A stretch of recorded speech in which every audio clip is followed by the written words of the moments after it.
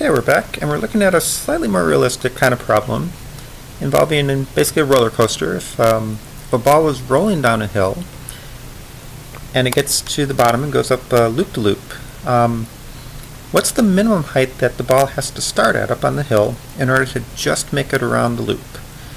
That is, it, it's going just fast enough so that it doesn't fall off the loop when it gets to this point up here where it's at the top of the loop. Obviously falling off the track on a roller, roller coaster would be bad, so we don't want that to happen.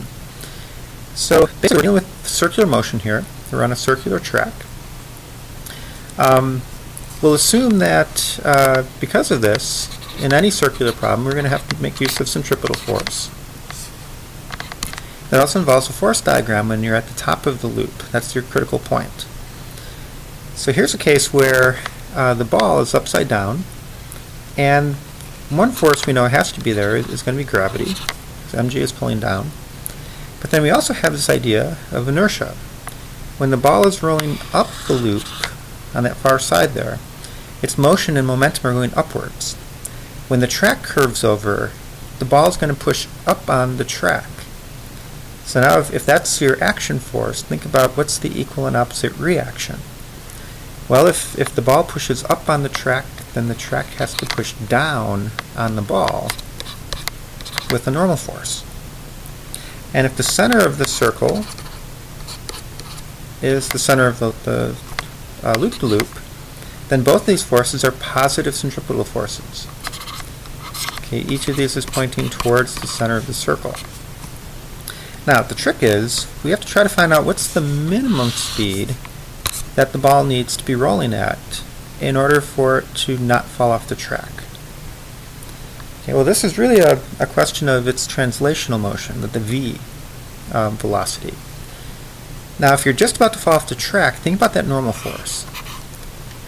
When you fall off the track, then that normal force can be zero. There's, there's no more pressure between the ball and the track. So your minimum speed squared Notice that the mass is going to drop out. It's just the acceleration of gravity multiplied by the radius of the loop-the-loop. -loop. Okay? So here's the deal. Uh, now we're going to be thinking of this as a relatively small ball, where the radius of the ball is, is much smaller than the radius of the hoop. I don't have to consider the radius of the ball right now. So um, now we can think energy we, we know this, the linear speed, okay, that translational speed you need at the top of the hoop. Now we just have to figure out, well, where does that speed come from? Where does that energy come from? Well, it starts off as potential energy when you're up on the hill. Now, when you're at the top of the loop, you also have some height. It's effectively uh, twice the radius of the loop-the-loop. -loop. Okay, again, we're, we're not if the ball is very small compared to the loop, we're not going to consider the height of the center of mass in this case. Okay, I'm simplifying it a little bit for that. Okay, but now you're also moving. It's moving linearly, so you have to have at least that much translational kinetic energy. But now, what's new in this kind of problem is that you're also rolling, it's spinning. Well, it takes it takes some rotational kinetic energy as well. Okay, but if there's no slipping going on, that's our phrase that we love to see, we can go ahead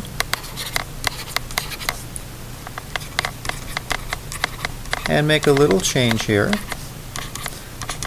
If this is a solid ball, which we're assuming, we can plug in the moment of inertia, 2 fifths m little r squared.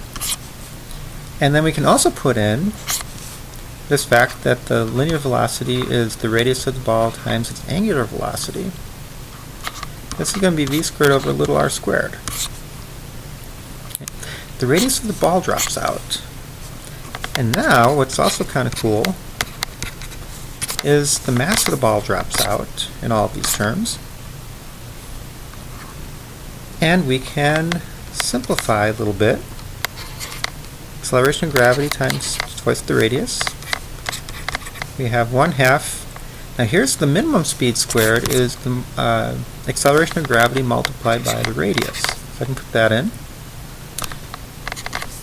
Let's see, now here, 1 half times 2 fifths is 1 fifth. Then we have the minimum speed squared, which again is going to be acceleration of gravity times the radius of the loop. it looks like a factor of acceleration of gravity drops out. And let's simplify this even more. So our height, that minimum height, is twice the radius, one half and one fifth. Uh, let's see, that's going to be a common denominator of 10, so 5 plus 2 over 10 times the radius of the loop. That's 7 tenths. We end up with 2.7 times the radius of the hoop. Okay. Now I have another video that does this for a block just sliding around with no friction or anything. And that minimum height turned out to be two and a half times the radius. You might ask the question, well, why do we need more energy in this case for a ball than we do for a block that's only sliding? Well, the answer to that is some of your energy goes into making the ball roll. It goes into that spinning motion. And if you don't go any higher than what you did for the block, you don't have any energy to make up that what goes into the rotation. So in other words, that, that linear motion doesn't have enough kinetic energy. It's not going fast enough forward to stay on the track. It's going to fall off. So you need to boost it by just a tad. Okay, two tenths of the radius of the loop-loop. That's that little bit of extra energy um, that's going to go to the spin, and you're still moving fast enough forward Okay, that's translational energy in order to make it around and not fall off. So this is a little more realistic because on, on real roller coasters you have wheels and stuff that are spinning. You have to count for all of that um, in order to get this right. So I hope this helps and uh, until next time, we'll see you later.